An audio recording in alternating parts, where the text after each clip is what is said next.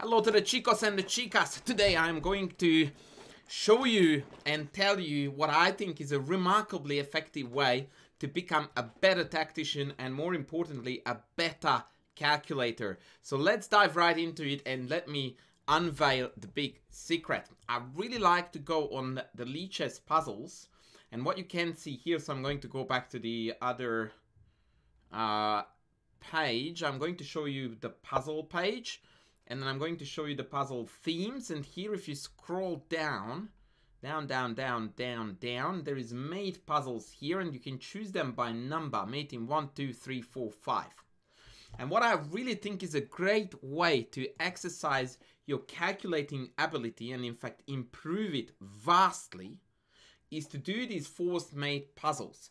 Now, in my opinion, this is too soon for you to do if you don't have your mate patterns really, really well understood, memorized, and so on. In order to do that, my recommendation for you would be to do this, which is Yusupov's uh, Boost Your Chess or Build Up Your Chess, depending on which book you have in your hand. There are nine of these guys, and they are absolutely sensational.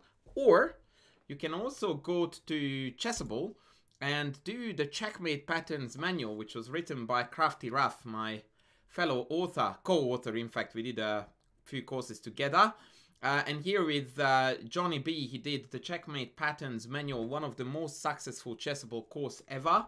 These two, potentially combined, would give you a very firm uh, foundation upon which you can build your calculating skills. And once you are done with that, I think it is a good time to jump into these mating free puzzles where you get to practice your calculation skills whilst relying really well on these mate patterns. So let's dive uh, let's dive into it and I'm going to show you now how I do this. So this is a mating free and the solution is pretty simple. Check, check, checkmate. Now I'm solving these usually at a fairly rapid pace and like it or not, but ideally the, the idea would be for you to be able to do them reasonably quickly as well. Now what really helps me to reduce the speed of the solving drastically is a very very good solving approach which is checks, captures, threats absolutely all the way every time. And I know you heard it a thousand times and trust me that most of the times people still don't use it as effectively as they should. So checks, captures, threats, pawn breaks as per Ramesh uh, are the first port of call every single time. Now, note how the king is cut off on the sixth rank. So after g5 check, king g3, I only had two checks to look at. But after f4, e4 does not have support. Hence h4 first and then e4 is mate. Dansky next. Okay, so this looks like check and then check and then mate. And once again, that is actually the solution the reason why I managed to solve this so quickly is not because I've seen it before, but because of the solving method in my mind, checks, captures, threats, is on point. And even though I had two checking moves to start with, I chose rook h7, uh, not so much out of fluke, but because that move ticks two boxes out of the three, because that's a check and a capture, and as such, that is my priority because that's a super duper super duper forcing move. And upon checking the calculation, of course, rook h7, king h7, queen g6 check. No matter where the king goes, we have mate on g7. So let's go, check, check, and mate. Done. Next. Um, this looks like a bit of a nasty, if I'm not mistaken a real nasty actually. This is very unpleasant. Um, I just solved this, but boy, this is this is a for a mating free. This would uh, cause trouble.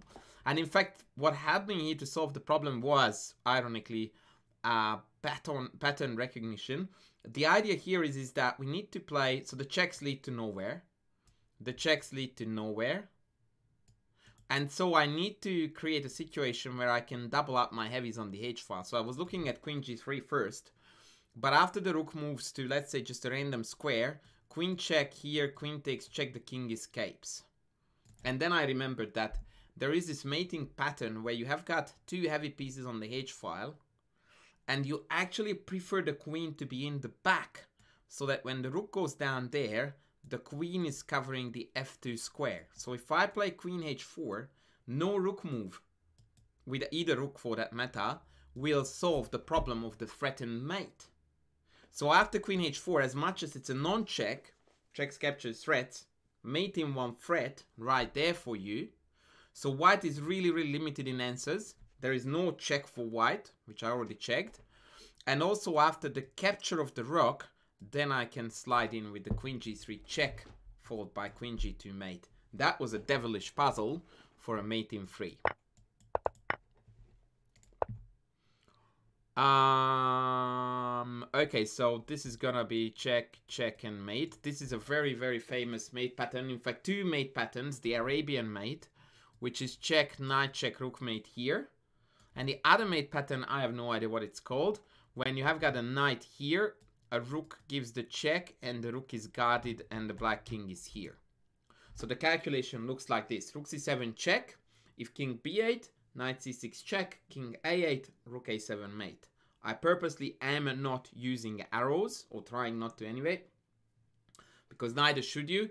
It helps the visualization, which means it's cheating, and assuming that all this training is going towards over the board chess, it's best if you don't develop bad habits. Rook c7 check, king d8, knight takes e6 check, king e8, rook e7 mate. Done.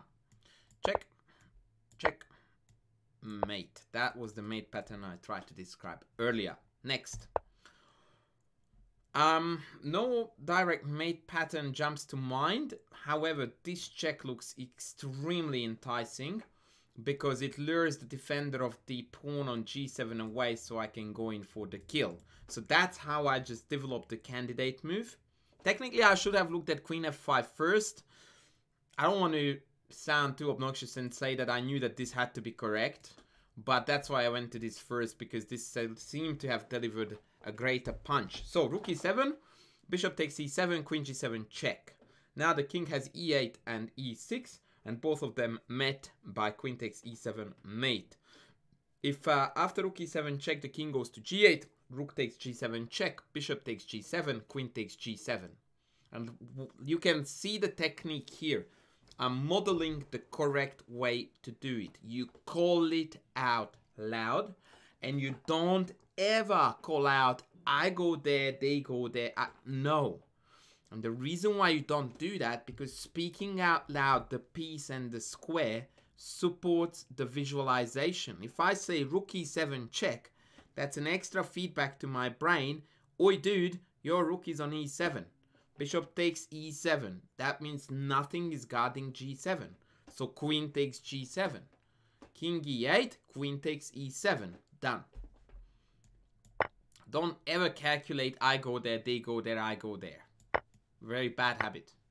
By the way, I should have pointed out that that was guarded. Um, ooh, kidoki. This looks like... What is that mate called again? Damiano, maybe? I don't know these mates, guys. I'm sorry. But as soon as you see a bishop slicing and dicing into a long-castled king, the first instinct is that, uh, yeah, there is that mate when the bishop comes down here. And then you look for checks. Check, which is a capture 2, takes, bishop check on a3, queen b2, bishop takes b2, mate. Done. And that was 100% pure pattern recognition. In fact, the reason why I took a little bit longer solving this than I expected it, because I actually didn't see the bishop on h7. it took me a while from the corner of my eye to recognize that, ah, there is that dude there. All right, okay, so we have mate here. Okay, next. Now, this doesn't look like a mate pattern per se that I'm familiar with. Oh, this is beautiful. It's gonna be knight f7 takes check and the mate. So the way how I came to knight f7 here as my primary candidate instead of the double check, which by the way, technically speaking, you should start with that because that's really more forcing. But after knight f5 check king g4, if I went queen h3 check, the king sort of slips away with g5. So I wanted to cover this square to reduce the king's escaping routes. And after knight f7 check king g4, I have queen h3 check. Now g5 has been covered. King f4 is the move and then queen f3, which is vaguely a mate pattern I remember that now after queen takes, the knight is covering these two squares and so the king has nowhere to escape. Let's see one more. Um, that's gonna be a check, check, checkmate. So this is a very, very common mate pattern when the king is embedded between two pawns that are in a diagonal distance. And so if there is a king on c4 and the queen on b5, that means it's a checkmate. So I'm going to go queen d2 check. If king b1, b2 is mate. King b3, queen b2 check. And now if the king goes to a4, I have queen b5 mate. And if the king takes on c4, I still have queen b5 checkmate. Let's go. And the idea is, by the way, as I'm doing these, that um, when you are solving them, you should get them, every single one of them right and reasonably quickly too. Although the speed is not everything, but you will find that the more you do this, the faster and more confidently you calculate. So this one is check, check, checkmate. And the reason why I do it this fast is simply because I have good habits and I am calculating now with obviously a fair bit of experience reasonably skillfully. So queen b7 check, king d8 only move, queen a8 check, knight b8 only move, queen takes b8 mate. And again, check, check, check. So the reason why these exercises are really good for your chess because they hammer the habit into you that you want to kill this position, this opponent, this this whatever is on the board, this game, you want to go for them, man. It it basically feeds into that vicious predator-like mentality without which no chess player ever succeeded. And so because of the uh, all made, you know that there is one. And so there is an initial boost in you that I can, I know I should go for it. And then with that aid, you are going to be able to, you know, find these solutions with a greater success rate and they will feed these outstanding habits. Now I'm going to step it up today. No, actually not. I'm going to do one more in free. And in the next video, we are going to tackle the fourth. So let's see last mate in three, um, myriads of discovered checks with the bishop. So the first one I'm going to look at is these guys because they support a check and a check or if I went this way then technically a check and I can't go that way. So I already am visualizing that uh, I would rather force the king this way uh, than uh, rather this way than this way because obviously towards the corner it's more sheltered. So my number one candidate is bishop d6 check, and I immediately find that after both king d8 or king d7, I have queen c7 check, king e8, queen e7 mate, see ya. Easy peasy. Check, check, checkmate. So, let's do a very quick conclusion about the first uh, video on this uh, how to become a better calculator theme. The first and most important thing is, is that it, it's not absolutely, you know, uh, a necessity, but definitely, in my opinion, the right order of doing this is to first make sure that your checkmate patterns are on point. And for that, I've already provided the sources which I think best support you. Not the exclusive only ones, but they are two of the best. Once that's done, then you can do the test in those books and courses and then you can open your wings and do some of these exclusively mate threats. So you know they are mate threats on Lichess I think they are the only ones offering these at the moment. Where not every single one of them will feed into patterns you know but many do.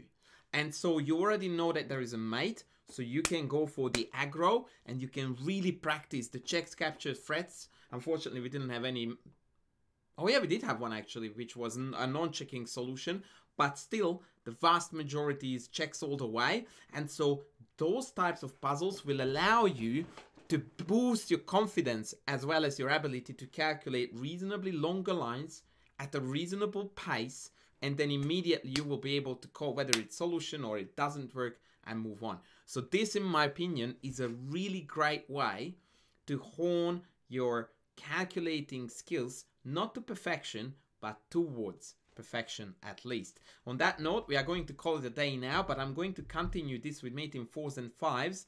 uh, and we'll see how we go. But I wish you the very best of luck with practicing your calculation. Thanks for watching. Don't forget to sub, to like, to comment, and I will be back with the next video soon. Thank you.